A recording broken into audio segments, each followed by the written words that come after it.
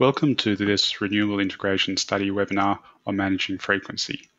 This webinar is designed to give a technical overview of some of the findings related to the frequency workstream of the Renewable Integration Study, recently published on AEMO's website. This is part of a five-part series of webinars on the Renewable Integration Study and builds upon the introductory RIS 101 webinar and the technical overview. To read the RIS publications or view the other webinars in the series, please head to the major publications page on AEMO's website. So presenting this webinar today will be myself, Andrew Paver, and my colleague Jane Yu. We are part of the Future Energy Systems team looking at the frequency component of the Renewable Integration Study.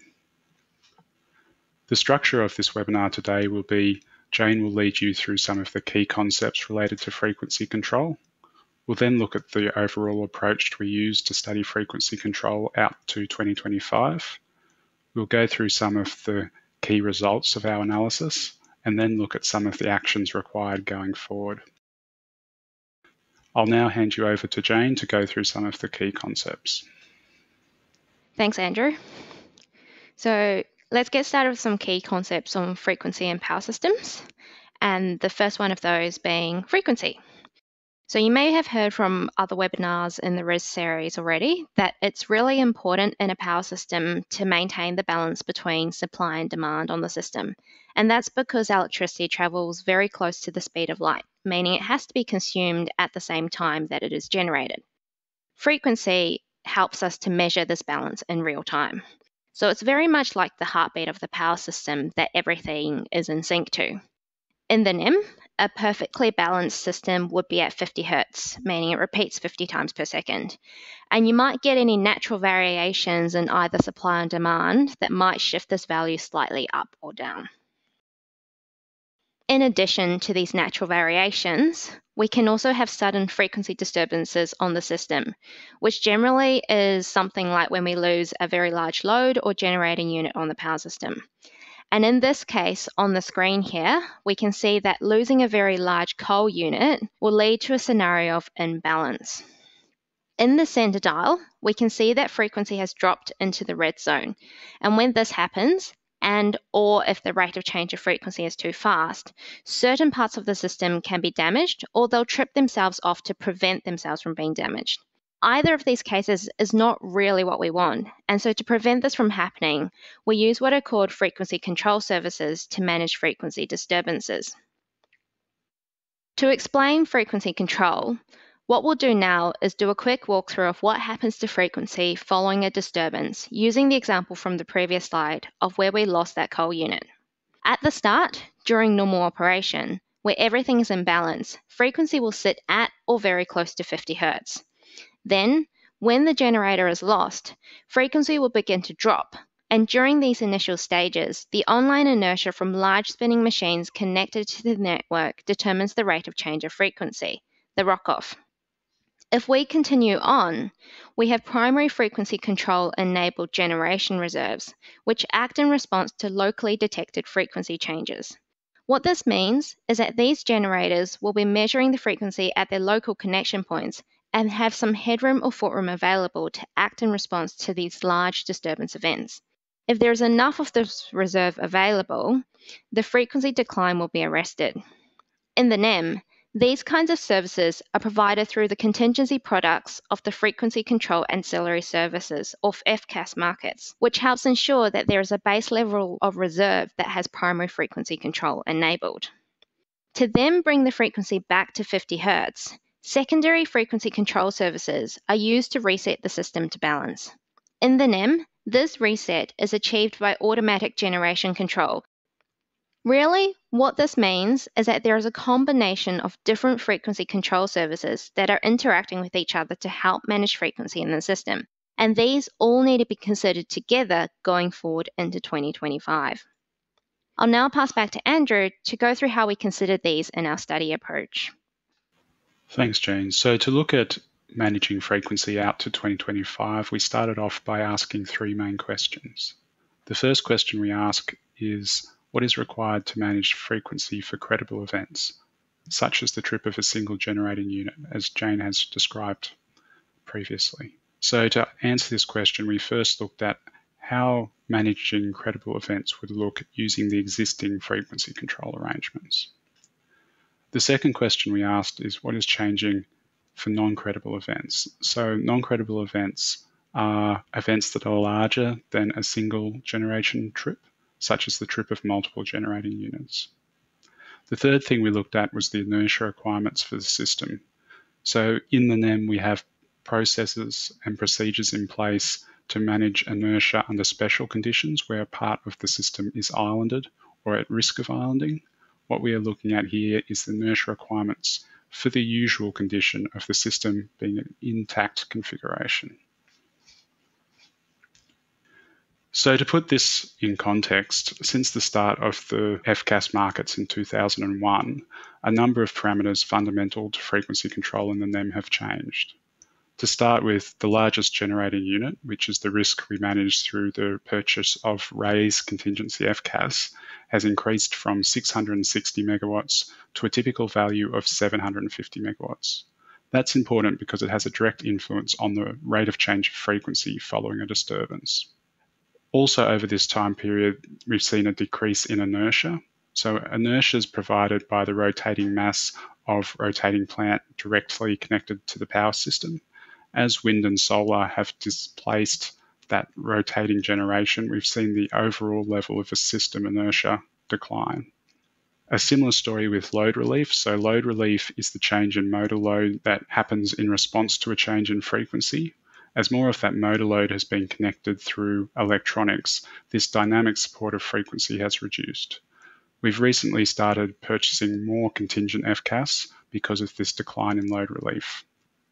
We've also seen a change in the dynamics of reserve brought about by new technologies providing frequency supportive services, and we'll talk about that a little bit more later. We've seen the emergence of distributed PV as a secondary risk, so a secondary risk is the trip or reduction of generation that can occur alongside the primary risk or the trip of a large generating unit. So all of these factors have changed the outcomes of credible events, but they also feed into what the potential outcomes of non-credible events may be. And we'll have a look at that in some detail as well. So a little bit more about the decreasing level of inertia. This chart here shows the inertia in the mainland NEM. And we can see there that the level of inertia has been progressively declining from 2015 to 2019. That shaded blue area on the curve represents the projected outcomes of inertia out to 2025, and it comes from our market modeling. So we have multiple sets of market models that have different input assumptions and can give different outcomes in terms of system inertia. The lowermost edge of that area is a conservative view of where inertia could go, and it comes from short run marginal cost modeling. And what that shows is that by 2025, inertia could go as low as the amount maintained through the minimum system unit combinations or the units that must be online to support system strength. Jane will now take you through some of the core areas of our analysis and the results. Thanks, Andrew. So Recall the same slide that Andrew had before of the changes that have happened since the FCAS markets were first introduced and draw our attention to these first five points. So these changes have a direct impact, first and foremost, on the frequency sensitive reserve requirements for managing credible events. And this part of the analysis really ties back to that first question of what is required to manage frequency for credible events out to 2025. To answer this, we used a power system model where we tripped a large generator, our credible risk, to simulate frequency responses under varying system conditions that reflect each of the changes individually. Now, in the interest of time, while there are five things listed here, we'll go through only a selection of the results that are highlighted now in purple. But if you're after the full detail, I strongly recommend having a look at section B4 of the frequency appendix report to get an idea of the whole picture. In our power system model, simulation parameters that lined up to the various changes on that previous slide were fed as inputs into different components on a single bus model of the mainland NEM. From the representation of the single bus model you can see on your screen at the moment, we can see that there are four basic categories of components as part of this model. The first one being the online inertia, the second being the demand or total load on the system, including any associated load relief, remembering that prior to the event, it's important that load balances it out with the generation, so that frequency is at that 50 hertz. The third one is the amount of reserve, consisting of the base reserve model and a percentage of reserve having faster response characteristics than the base reserve model. So our base reserve model itself was built to have performance characteristics that represented a typical thermal unit set up to meet the specifications of the six second contingency FCAS market. And this was because the six second contingency FCAS market is the fastest contingency FCAS market in the NEM and it's the product that is designed to arrest frequency. Finally, the last component is the risk that would be tripped, which includes any additional secondary risks from the distributed PV tripping off. From this model, we obtain a frequency response of the system. And as you can see on the slide, we assess it against the frequency containment requirements of the Frequency Operating Standard, or FOS for short. So here we can see that frequency was arrested on this particular run, as we had enough reserve to fully replace all the active power that was lost during the event. However, this curve drops into the red zone below the FOS requirement of 495 Hz before it becomes arrested. If we then increase the amount of reserve on the second trace, we have now met that FOS. So what this shows us is with the same speed of response from our base reserve model, we need a larger amount of reserve not only to arrest frequency, but also meet the FOS requirements. And this was the iterative process that was taken to determine how much reserve is required for a given set of system conditions. As we vary the system conditions in line with actual changes in the system, we can summarize these reserve requirements on inertia reserve curves, which we'll now have a look at for each of the results from the changes that were highlighted in purple before, starting with decreasing inertia. On this slide, we have the base case inertia reserve curve here, which is also a great starting point to help us understand the impacts of decreasing online inertia levels. Before we do that though, in the appendix report, there's quite a few of these charts, so it may help to just step through the different components of this one. So firstly, the 6 second reserve requirement on the y-axis refers to the amount of frequency responsive reserve as measured at 6 seconds, which you'll recall is the measurement point for our fastest contingency FCAS product. In the case of this curve, we only have the base reserve model, so the y-axis would be the total amount of headroom with assumed response characteristics of our base model that we would need to arrest the frequency and meet the FOS. On the x-axis is pre-contingent inertia, which, if you'll recall, has an impact on how fast the frequency will change following our disturbance. Other study parameters that weren't being varied as part of this set of studies are usually given in the title, this includes things like the size of the risk and the load on the system and any associated load relief. Any parameters that were being varied as part of the study will be shown in the legend, and we'll see that later on. Finally, what this means is that each point on the curve represents the amount of reserve required under the modeled system conditions to meet the FOS. And what we can see as we look along this curve is that as we move into the lower ends of inertia, particularly beyond historical levels, the required modeled reserve to meet the FOS kicks up in a nonlinear manner. And that needs to be managed accordingly as we go into lower and lower levels of inertia. The second change that we'll now go through is the impact of changing reserve dynamics. While our base case on the previous slide, and here in the red, were based off a typical thermal unit's response to frequency, it is important to know that reserve comes in a range of speeds across a range of different technologies. Today, at the faster end of the spectrum, are batteries and inverter-based resources, which are programmable down to hundreds of milliseconds. In addition to this, there's also switched reserve, which does not have a dynamic response to frequency, Rather, switch reserve consists of large or aggregated loads that have switching controllers that allow them to automatically switch out of the system. And thereby, when we lose a generator, they can decrease demand on the system and bring the system back into balance. On this inertia reserve chart, we have a comparison between our base case and two cases, each with 30% of the volume on the y axis having performance characteristics set by a typical battery in grey and a typical switch reserve settings in blue. What we can see in both cases is that the curve shifts downwards, meaning less reserve, as measured at 6 seconds, is required when we have faster response in the reserve mix. This is pretty good news that there's opportunities from the changing reserve dynamics on the system. However, these reserve products do respond differently to the typical thermal units we're used to having on the system, and therefore having them as part of the mix can increase the complexity of operation. As that proportion of faster reserve increases significantly, how they are managed and integrated therefore needs to be considered very carefully. So if you're interested in that, have a look at section B4.7 of the appendix report for more detail. The last piece of analysis using our power system model was in relation to these emerging secondary risks. As Andrew mentioned before, a secondary risk is the coincidental trip or reduction of generation from some of the newer devices on our network alongside a large generator. In this graph, the secondary risk that was studied was in relation to the tripping of distributed PV.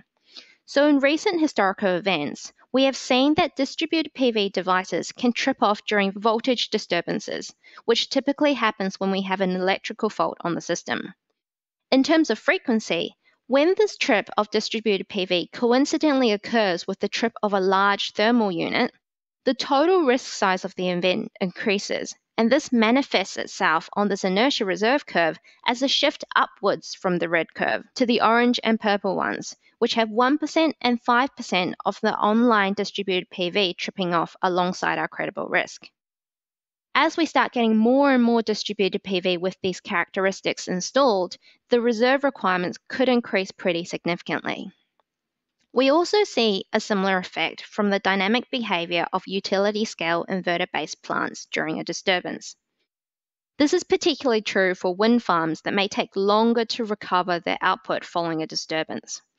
How we effectively manage these secondary risks becomes an important part of the picture for future planning, which I'll now throw back to Andrew to tell you a little bit more about. Thanks, Jane. So, just to recap on some of the results and what they mean for managing credible risks. As Jane described, if we keep the speed of our frequency control the same, we're going to need a greater volume of that frequency sensitive reserve under the forecast conditions.